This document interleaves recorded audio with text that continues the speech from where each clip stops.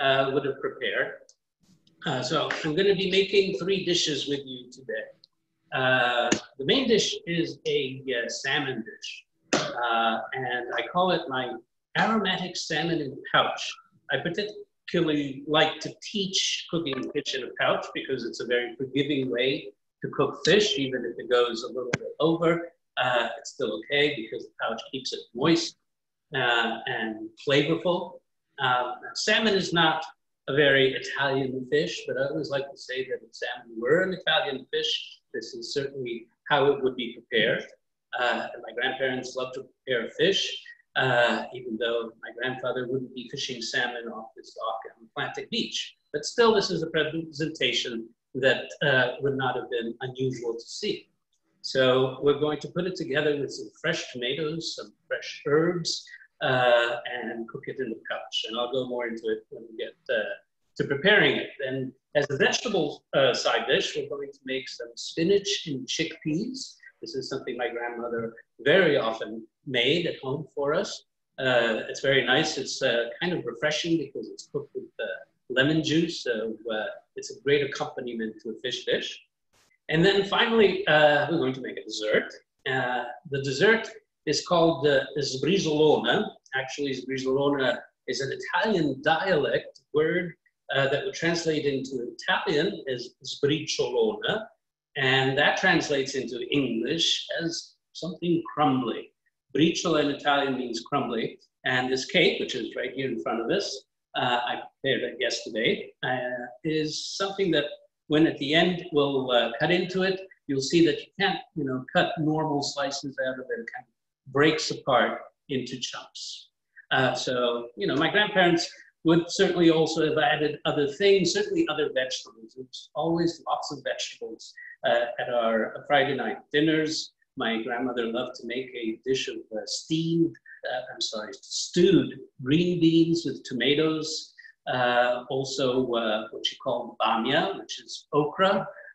again, cooked with tomatoes, so you can see tomatoes are definitely a recurring theme. Uh, so let's get started first with the salmon. And first thing I'd like to do is to do the aromatic mixture. So if you have gotten the ingredients already uh, and are prepared to cook along, uh, then please do. Uh, I have an assistant here. This is my daughter, Gabriella. And uh, so um, for the aromatic mixture in the recipe that you have called for oregano, um, but it's been hard to find oregano. It's been hard to find some strange things these days. And I have, wasn't able to find oregano, so we're going to use marjoram instead. And actually, marjoram is a wonderful herb to use with seafood, uh, sometimes even better than uh, oregano. So Gabriella is going to uh, take these uh, stems of marjoram, just kind of strip the leaves off of them, and uh, then we're going to chop them. And in the meantime, here I have some parsley. This is some uh, flat leaf Italian parsley. I really prefer it a lot to the curly parsley. I find the flat leaf parsley has much more fragrance, much more aroma. And what I'm doing now is uh, I, I, have to rinse it off. So I'm going to uh, take the leaves off the stems and I'm going to put them in a bowl so that I can uh, cover it with water, swish them around, and uh, wash them that way. Uh, unfortunately, uh, when it's wet, parsley does not chop very easily.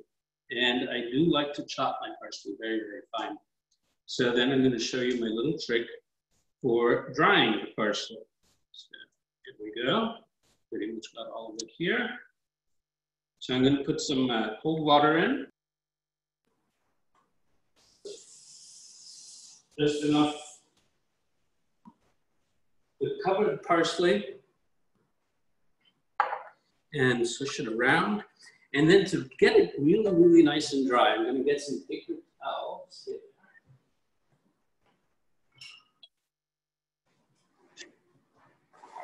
So one sheet goes on the bottom, and then I lift up the parsley and shake it off like this and spread it around. It always helps, of course, to shake off the excess water before you put it on the paper towel. Spread it out, and then put another sheet of paper towel right on top. Uh, we need more Keep them going. And then after you've patted it down, roll it up very nice and tight. And in fact, I even squeeze it, give it a nice squeeze. You see some of the water still coming out. Uh, but in any case, the paper will really absorb all the water that way. And then we can lay it out on our cutting board. And then we can chop it.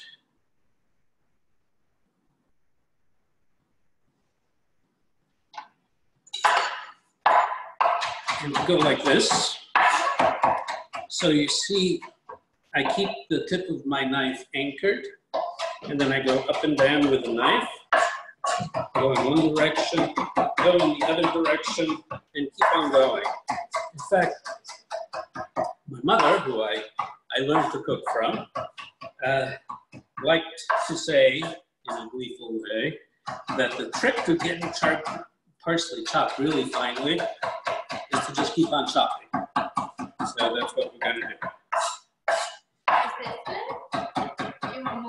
I want as much as you can do by the time I finish my parsley.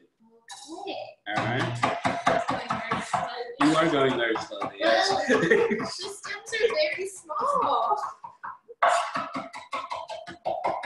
It smells good though. yeah, marjoram is a great herb. And you know, normally marjoram is really hard to find, so it's kind of ironic that it was marjoram that I was able to find today. And yes, I have tried growing herbs, but somehow it never really works out very well for me, unfortunately. Okay, so my parsley is ready. And so I'm going to uh, make my aromatic mixture in here, in this bowl. So I'm going to scoop up parsley. Not put it all in. Actually, I'm going to put just a little bit aside. And I'll show you what I do with that later. We are going to use it in the fish as well, but not in the aromatic mixture. And then uh, I need some garlic. I'm going to do, I think one nice big garlic clove should be enough. Here we go. And the thing about garlic is that uh, uh, everybody always says that if it's Italian, it must have garlic in it. Well, it's not really true. In fact, um, Italians use garlic with a pretty light hand. Okay, to get it peeled well, you don't use a light hand. You just whack it like this. I don't like to whack on the blade of the knife, so I always do it on the handle instead, like this. And when the, the garlic clove cracks and opens up, then that's when you can get this skin off easily. I'm going to cut off that little bit that was attached to the clove. And then we're going to chop this very finely too. To get it started, it helps to make a few cuts. I'll do, if it's a thick clove like that, I'll cut it in half. And then, oh, that looks good. You can start chopping that now. Okay. I I stood up at the end. Yes, doing much better. And then a few cuts lengthwise, and that gets me started. It's not fine enough, but then I can finish chopping it uh, easily this way.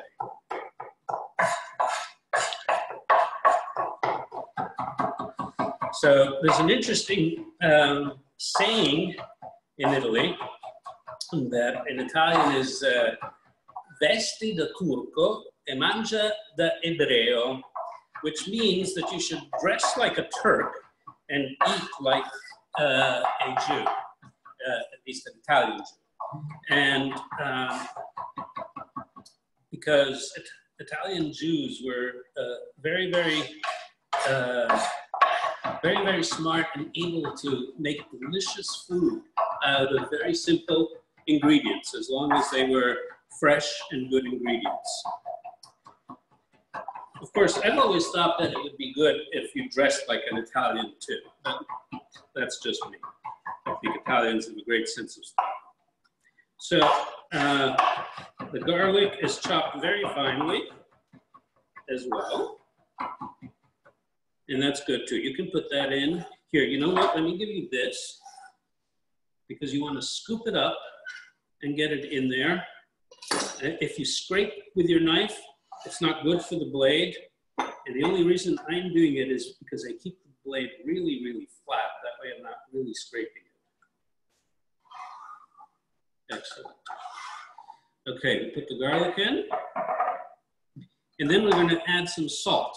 The amount of salt that you put in really depends on how much fish you have. So it's useful to have the fish here that you can look at when you're putting the salt in. So let's see, that's that part of the fish, and that part of the fish. Okay, so that's good. That's a good amount of salt. And then can you pass me the olive oil? Then we put a generous amount of very good extra virgin olive oil. Um, it's really important when you buy olive oil that uh, it, it is an extra virgin. You always want to use uh, the highest quality, which is uh, what extra virgin is. It's the highest grade of olive oil. Uh, you can, you know, try different olive oil, see which ones you like. Um, you know, if it does have my name on the label, then it's, it's probably going to be a good one.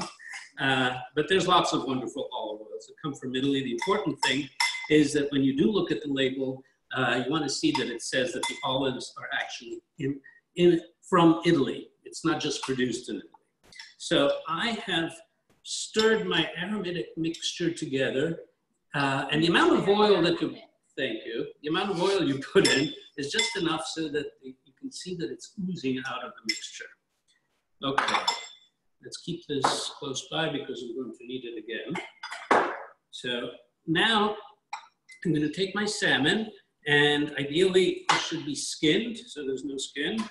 And uh, the place where you buy it usually will be able to do that for you. I kind of bunch it up and I want to butterfly it, which means kind of opening it up like a book. Uh, so you cut a flap like this, and this is so that you can get some of the aromatic mixture inside as well, but don't cut all the way through. And then we can uh, assemble it. Wash my hands. I didn't know that you did that. What? That you were. Oh, and I'm going to get some aluminum foil. I like to use the, um, the extra long aluminum foil so I can make a nice big pouch and use a nice big piece like this. And loud aluminum foil. Um, it's also good for the aluminum foil to be um, the, what is it called, heavy duty, the, the, heavier one. Okay, so let's put this out of the.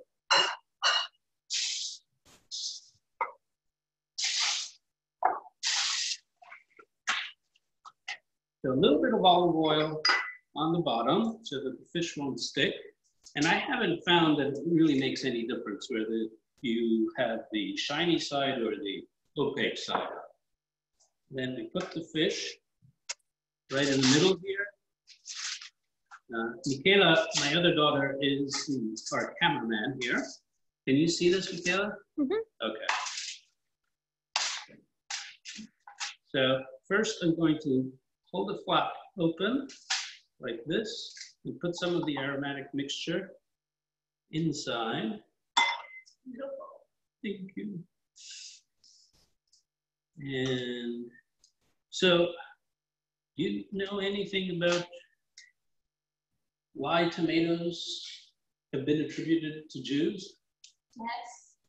because My mother told me this that um, it's believed that some of the first people to it's believed that some of the first people to step off the ship when Columbus landed in the Americas were Jewish.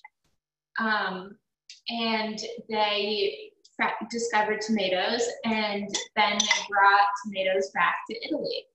And you know, originally they thought of them as an ornament instead of a food. But of course, you realized that it was an excellent food. It was very delicious. Oh no. Okay, so this is the first part. Now that we talked about the tomatoes, it's time to prepare them. So Here's one for you. Thank you. And one for me.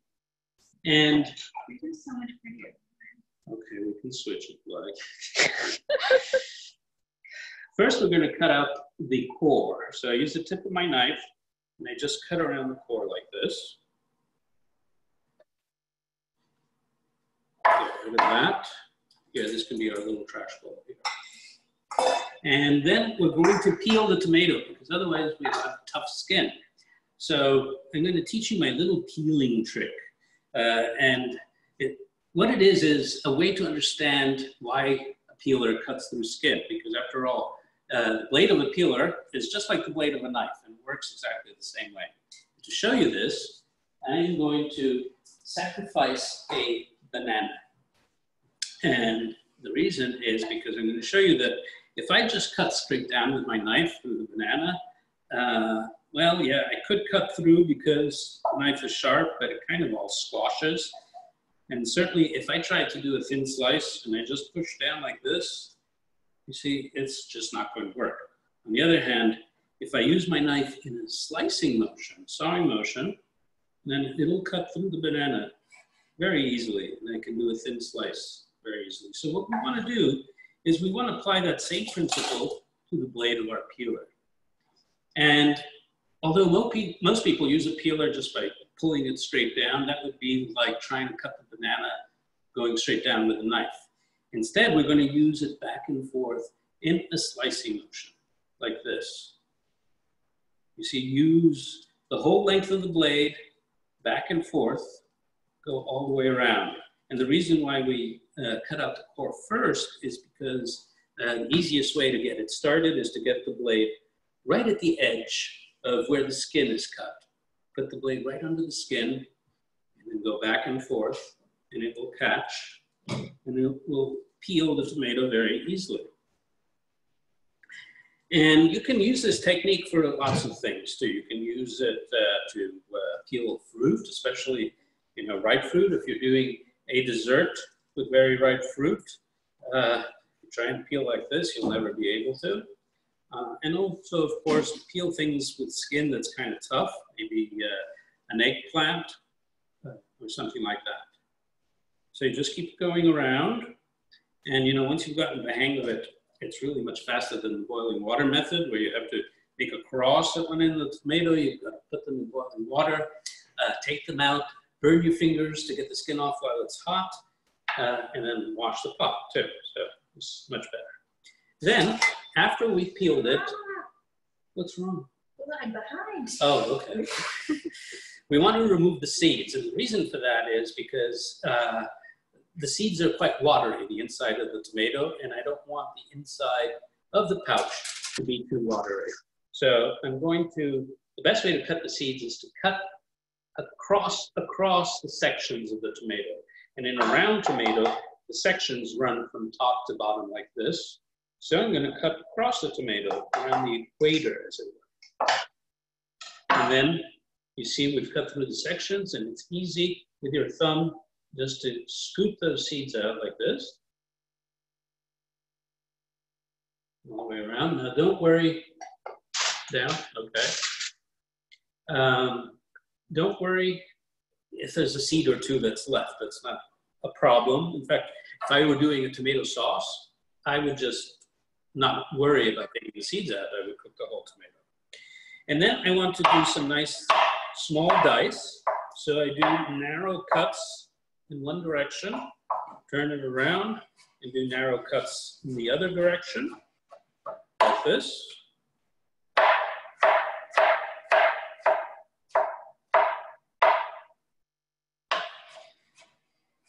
And you see, Gabriella's pace is so that you can keep up too. Don't fall behind. Yes, I set the curve. You see? So now I want to um,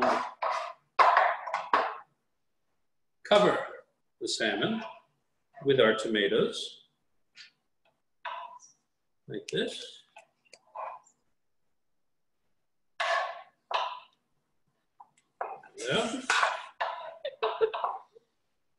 No worries, you're doing fine.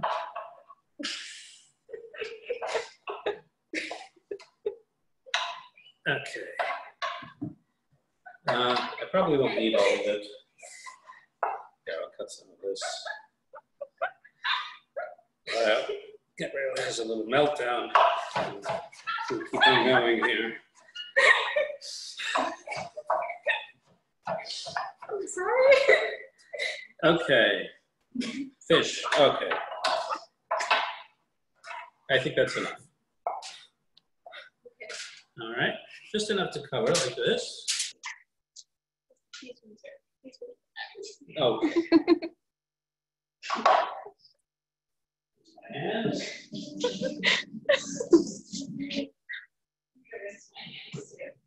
And then a little bit of salt for the tomatoes, because otherwise the tomatoes will feel left out.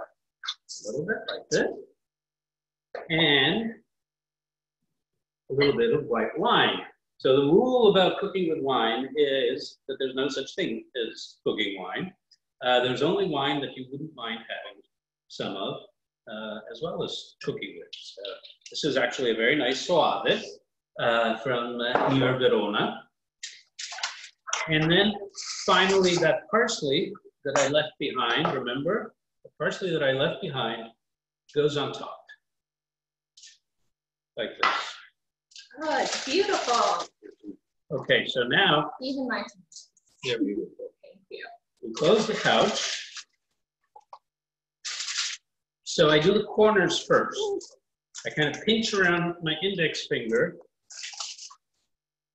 on the four corners, like this. And then I bring the sides together. We want to seal to trap moisture inside. And the reason we're using a big piece foil is to make sure that there's plenty of space inside for steam to circulate. I have preheated my oven at 400 on convection heat. If you don't have convection heat, you can actually do it at 425 on regular heat. And we're going to put the pouch on a tray. And it goes in the oven. Yeah.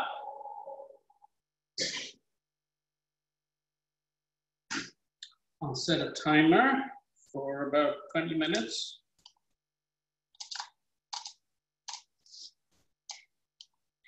All right, should be done just, just at the right time. All right, well, that was fun. Yes. Okay, so we're ready for the next dish. The next dish is the spinach and chickpeas. All right, so Look at all the spinach we have. We have a lot of spinach. Although, you know, the thing about spinach is you have to start with a lot of spinach because you cook it down, it goes down to almost nothing.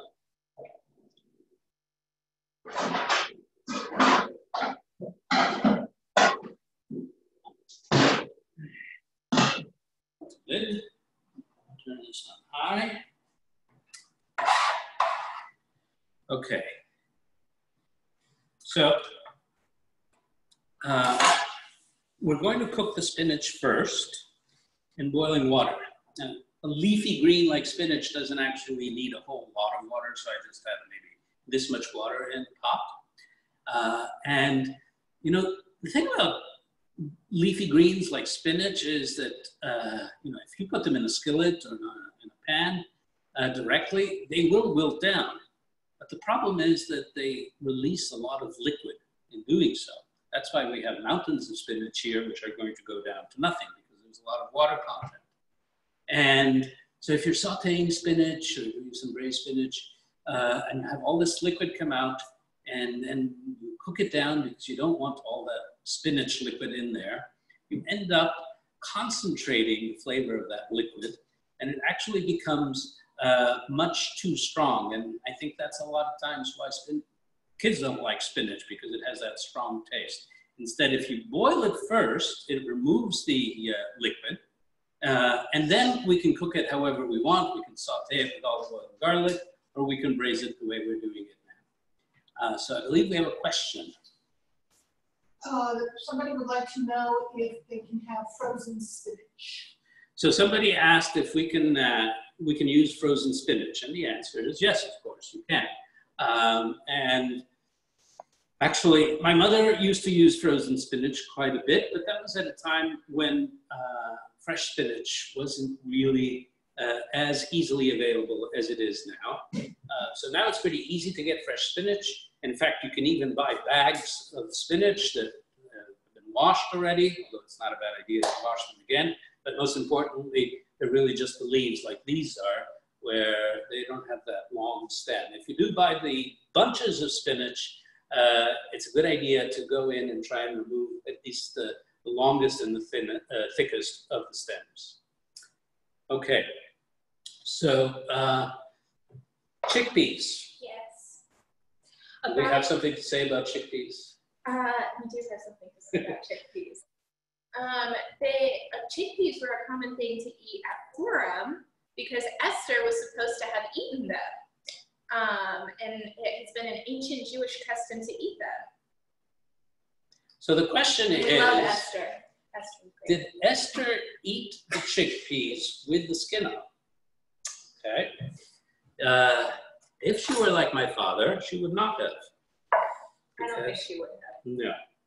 Uh, my father never liked the skin of the chickpeas. And, you know, these are canned chickpeas, by the way. You can use dried chickpeas and soak them and cook them.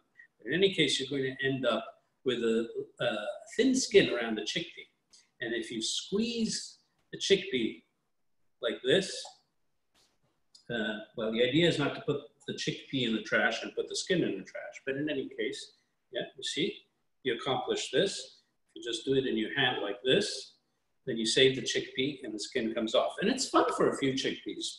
But this was my job because my father didn't like the skin of the chickpeas. And so, well, I, I don't really skin the chickpeas anymore. We're not skinning them.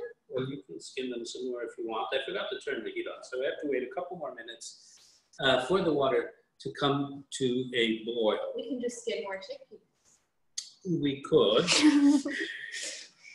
but there's also something else that we could do. I don't think I'm gonna like it. Yes, you are. We're gonna make the cake. oh, okay. Yes, you're in charge of the cake. Remember? Yes. Okay, so the cake that we're making again, I told you what it's called, uh, and it is something. It's a dish that is comes from uh, uh, Mantova, but also Ferrara. Uh, now, Jews lived in both of those cities, and in Ferrara in particular, uh, it's famous uh, because a family called the Finzi Contini lived there. And uh, in fact, there was a novel that was written that was based around the garden of the Finzi Continis.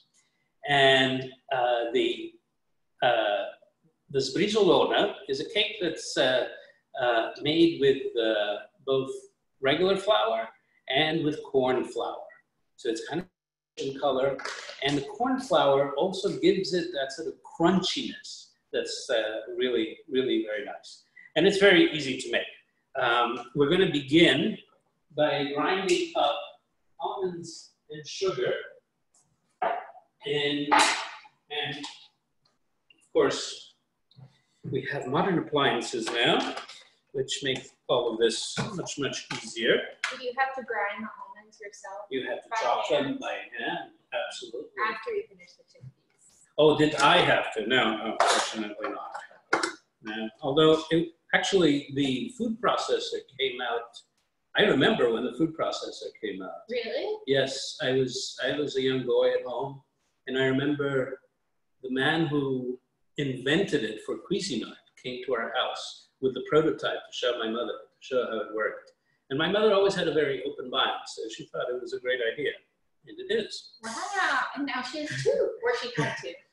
So, sugar, just regular cane sugar, and Cool. almonds. Uh, this is what they call unblanched almonds. It's almonds that uh, still have the skin on them. It gives them a bit of a nuttier, richer flavor. We're going to chop them, not to a powder though. We're going to do uh, kind of a coarse, medium to coarse chop. And I like to use the pulsing action for that. I know it's the sugar. It's not.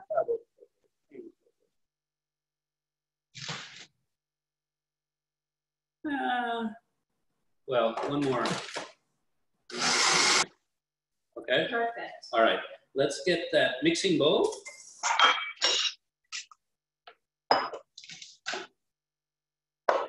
And what do we need to move? You can speak. Can you move the metal? Ah, yes. Oh, wait, the uh, water is boiling. This is for the spinach. I'm gonna add a little bit of salt. There.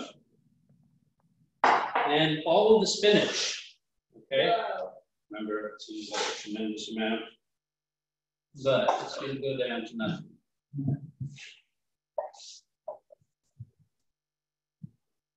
And, you know, to get it all in, all we have to do is just push it down, not with your hands. Use a pair of.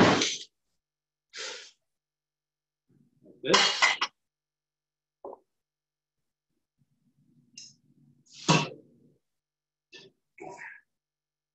Just hard to get into the pot.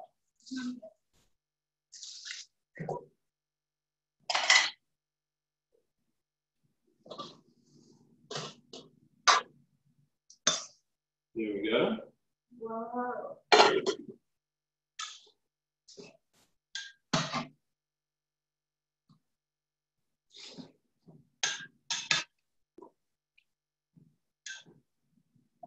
Okay, let's give it a couple minutes and answer questions. It's already so small. So, um, people want to know if they didn't get the recipes, how they might get the recipes, and, um, that you're gonna email them out and how to get in touch with you. Okay.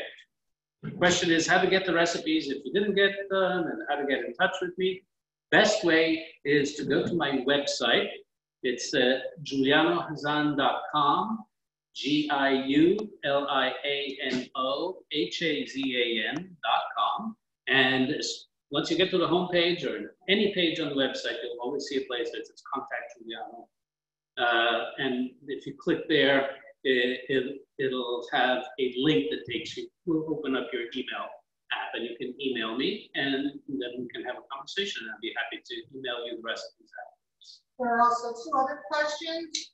Um, Lisa Lieberman, sorry, is asked, is the recipe for cake available and the amounts, et cetera? And then Gloria Hurwitz asks, how many minutes, pounds to cook the salmon? How many minutes per pound to cook the salmon?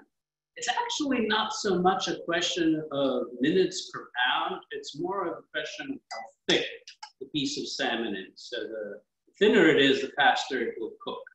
And I usually calculate about 20 minutes for a- an inch to an inch and a half, an inch and a quarter, let's say. I just do it by sight. But uh, the thing is, I would err on the side of slightly less time because you can take it out and then open up a little bit of the pouch and with a fork go and check and see if the fish flakes. If it does, it's ready. If it's not, then you just put it in for a few more minutes. It's really quite forgiving that way. Okay, so uh, let me take this and move our food processor out of the way. And I think maybe ready to continue with the spinach. So we're going to put a pause button on the cake, okay? And we're going to continue with the spinach. okay. And to get another pot holder. Colander in the sink.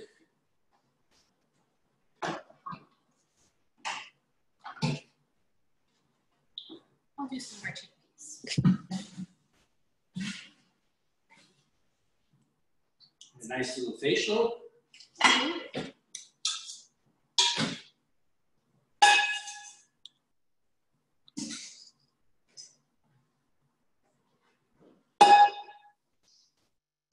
And then so.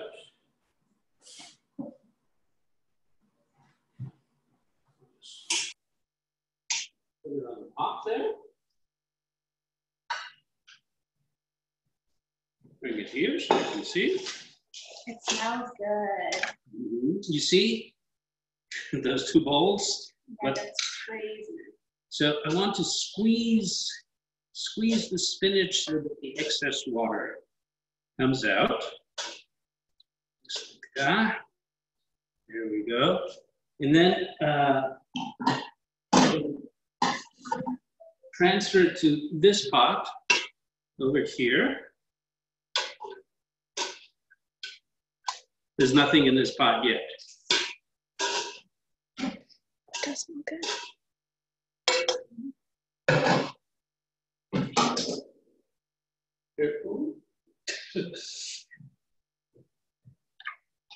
Yeah, good. So my mother always used to call me her official taster, so I guess that job has gone to you now. Uh, oh, question, yes. Uh, actually, hold that thought. I will answer in just a second. Uh, then some extra virgin olive oil with my name on it. Mhm. And then the chickpeas, most of them with their skins on still. Oh, no, we have to get that one. Okay, and then some lemon juice.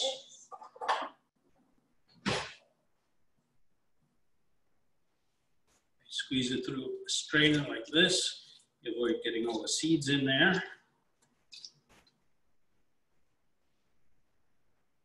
My juicer just uh, died, so I'm waiting for another one. Put a little bit more. Why did you zest that lemon? Ah, we're going to find out very soon. Good question. And my grandmother was always quite generous with the lemon juice here. So I think the recipe calls for like four tablespoons or so. And then a little bit of salt.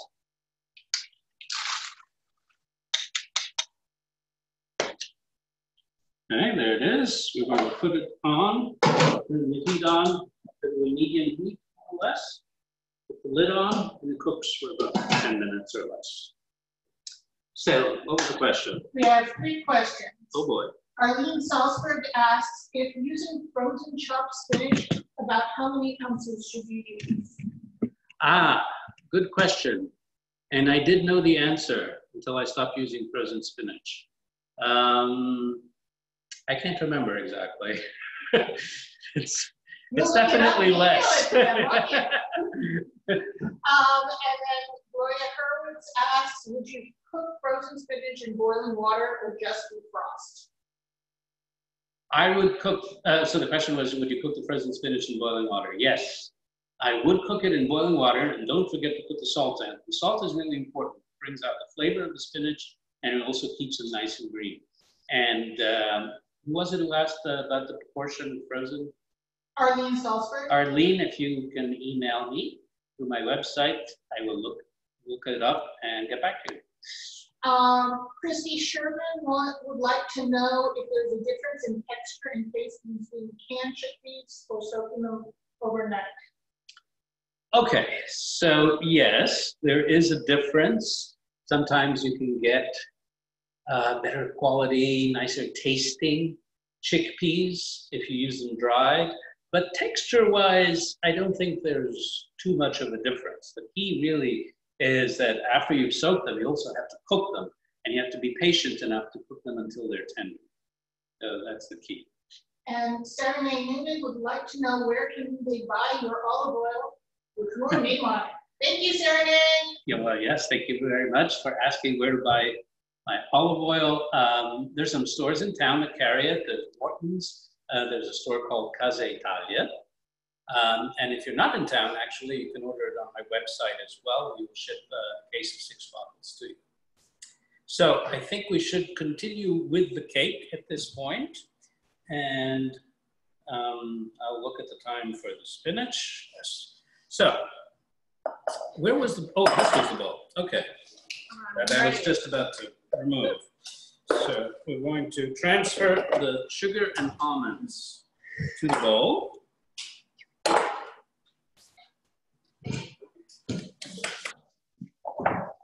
Gabriella's going to wash her hands because after this, it, her hands are going to be essential.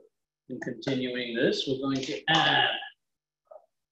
Apron is so nice. Ah, have a towel on.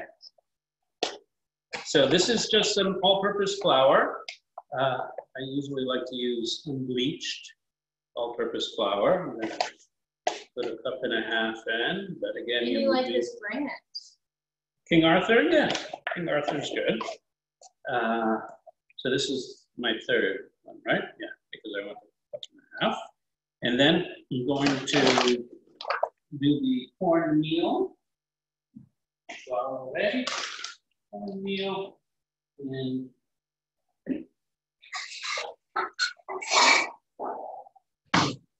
I'm gonna do uh, two thirds cup of cornmeal.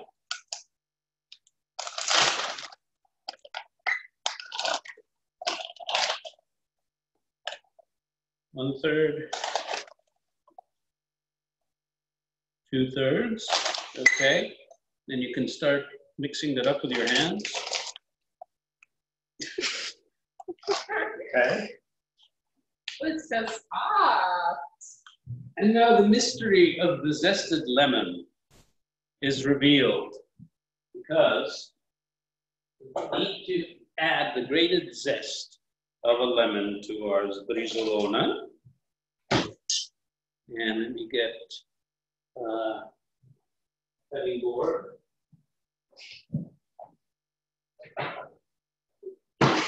So preferably one that doesn't taste of fish. This is what they call a microplane. Uh, and I really like it for zesting lemons because it's very sharp, uh, but also very fine.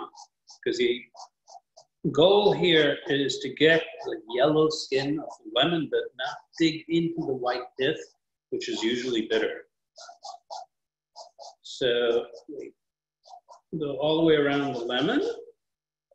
And so you see the one that was already zested was from the cake that I made yesterday. That I have not gotten to eat. That Gabriella has restrained herself with great willpower to dig into. Not just Gabriella, by the way, the other participants here. yes, there's my wife Lael who's been feeding me questions. So, we have the zest. And you keep on mixing.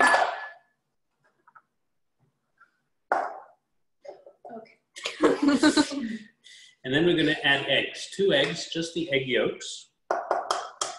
When I separate eggs, what I like to do is not go back and forth from one half of the shell to the other, which is always jagged and pointy and can puncture the yolk, but just put my hand out with my hands, fingers just slightly apart like this, and then let the white slip through and then put it in there. And basically you just kind of break the uh, yolks So, it's so fun. Okay, let me get the other egg in and then I'm gonna take the fish out. It's so actually very stable. It's, it's pretty strong. Ooh, there it goes. Okay, there's the other one.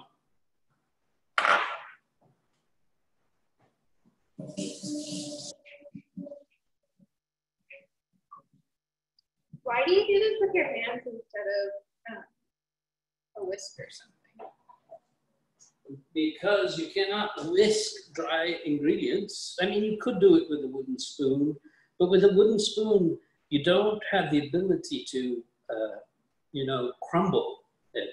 You know, when the egg yolk breaks up and you distribute it, it's like you're forming little pellets?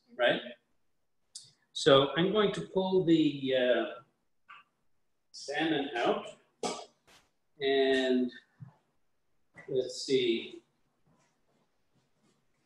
You can't just see this area here, can you? I So- can move it.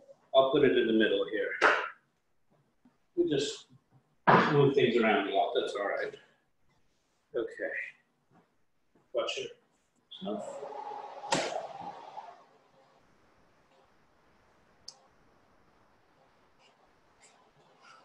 Okay. It smells good. That's a good sign.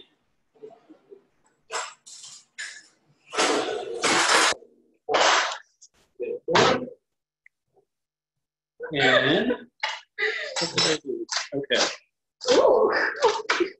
The nice thing about aluminum foil is that it's hot, but not incredibly hot, so you can actually uh, handle it with your hands. But be careful of the steam that comes out because that's going to be pretty hot. Let me just check and see. I'm going to put it in for just a little bit longer and then I'm going to serve. Okay. Then we'll finish the cake and then this will be ready. Okay.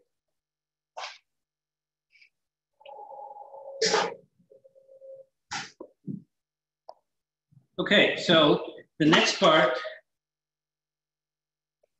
seven more minutes. seven more minutes of what? Six. Okay, but we didn't really start at five. That's true. Okay, so uh, we have the butter here. This is the most fun part of making this cake. Okay, the butter you need to take out so that it's not rock hard, because it should be soft. And also, you want to have it kind of cut up into little bits. So you continue doing that and you just distribute it That's everywhere.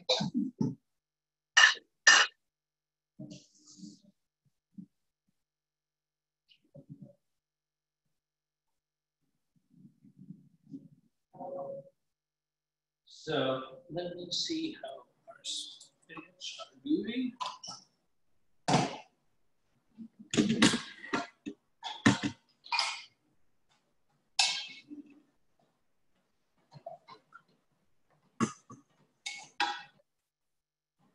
Looking good. I think I'm gonna give them just a couple more minutes. And then they'll be done.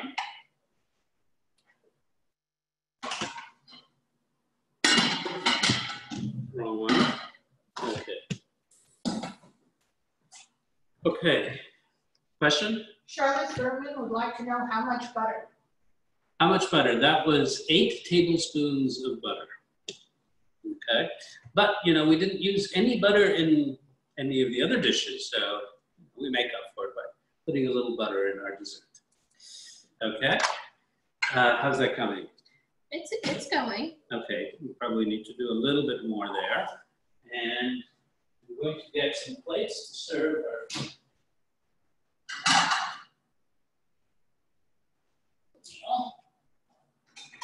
Okay.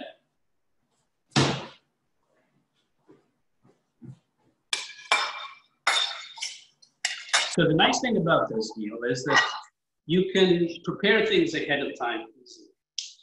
Uh, the salmon you can assemble way ahead of time, and then you can just put it in the oven when it's time, uh, you know, to go to eat. And then the spinach and chickpeas also, you can cook, have cooked your spinach ahead of time, and then it really just takes 10 minutes. And obviously the cake you can even make the day before. Question? Lo- Lois Portnoy asks how much almond and sugar, and Nancy Downey says how much butter should we Okay, why don't I just give you all the ingredients? Okay, we started out with half a cup of sugar, four ounces of almonds. Then we added the uh, uh, cup and a half of uh, all-purpose flour, two thirds of a cup of uh, cornmeal, and uh, the zest of one lemon, and then uh, two egg yolks, and eight tablespoons of butter. Is that good? Is that ready? Oh, um, Yeah, I think that's ready.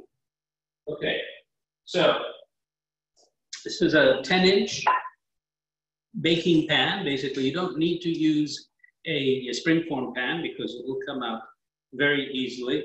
One thing we do need to add, that I pull out, is some butter for the uh, cake pan, okay? That is not included in the eight tablespoons. Just take a stick of butter and smear the bottom and the sides with the butter, like this, and go around the sides, like this, and then, this is ready, up, up, and then pour this in and kind of spread it out evenly. In the meantime, you will have uh, preheated your oven on regular, you don't want to press though, you just kind of, yeah, distribute. The oven is preheated at 375 on the bake setting. And we put it in and we bake it for approximately 40 minutes. Uh, you might want to check maybe 35 minutes. It should have kind of a brown look. Well, you can see right there. Okay, I'm not putting it in right now because I've got a fish in there. Yes. So we have a number of questions. Uh, Lieberman would like to think that maybe a pastry cutter might be more efficient. You Pastry cutter to cut what? Okay. Um, Question no. was to use a, whether I should use a pastry cutter. The other, Neil Roth wants to know if the spinach is just simmering or boiling and how do you know when it's done? Excellent question. Uh, is the spinach simmering or boiling, and how do you know when it is done? It is a good steady simmer, not like on high, on a rolling boil, but it shouldn't be very, very low either. And to know when it's done, You can't really see that. I know, I have to bring it up. I'm trying to formulate, have to explain it because it's the spinach kind of changes color a little bit. It started out bright, bright green, but as it uh, stews and braises with the lemon juice, particularly the chickpeas, it starts to be more of a muted green. And so when it's all like that, it's done. But generally, it's about 10 minutes. So, you know, you've done it for nine minutes or you've done it for 12 minutes, uh, it's really fine. Okay, I think that we're ready. We're going to pull out our fish and we're going to plate everything. And Gabriella will finally be able to eat the cake. Yeah. Me too. Okay, you have to move out of the way.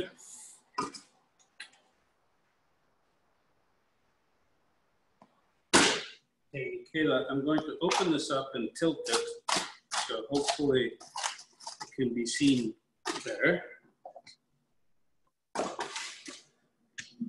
Have it all coming out. Move the bottom one.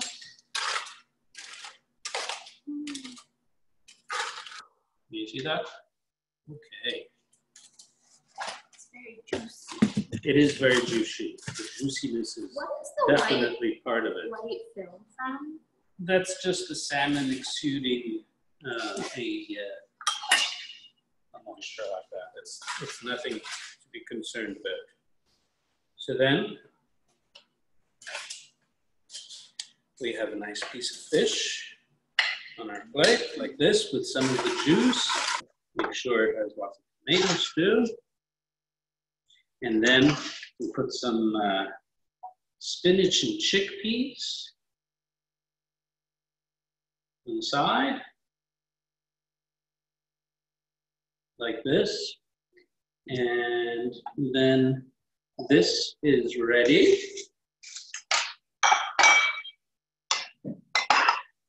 And then the cake. Thank you. Careful, this is hot. Going to, now that they've seen it, I'm going to move it out of the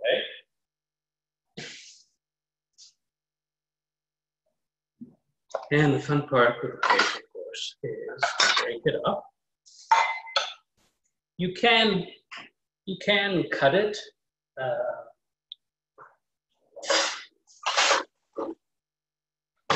but not very cleanly. Okay? Of go like this, and you see how it kind of breaks apart?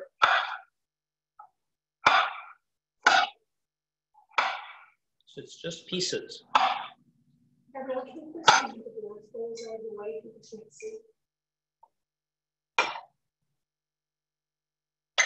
And so you see, here it is. See inside, it's nice and, and yellow. And there we go. So we have a nice little meal here. Salmon, chickpea, and sbrisolona. Are there any other last minute questions here before we sign off? Yes, people would like to know the si- size of the cake pan. It was a 10 inch, 10 inch cake pan. You could do it even up to 12 inches. We're starting with dessert, I see. Okay. Um, all right, well, uh, there aren't any other questions. Thank you so much for joining us today with this class. And I hope that uh, you will enjoy making this meal. Please let me know how it turns out. Again, you can reach me through my website at giulianohazan.com, and that's where you can find out about uh, not just our olive oil, but other products that uh, we have that are available. I have my mother's famous tomato sauce. I have a fabulous rice from the Veneto, a red wine vinegar, and also uh, all our cooking classes and courses in Italy. So thank you so much. Buon appetito. Thank you